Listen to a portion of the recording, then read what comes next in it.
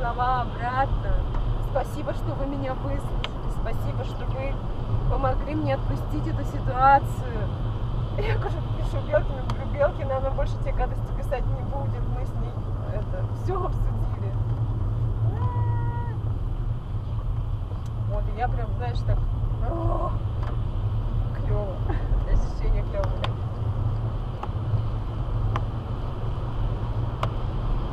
Раньше никогда! Не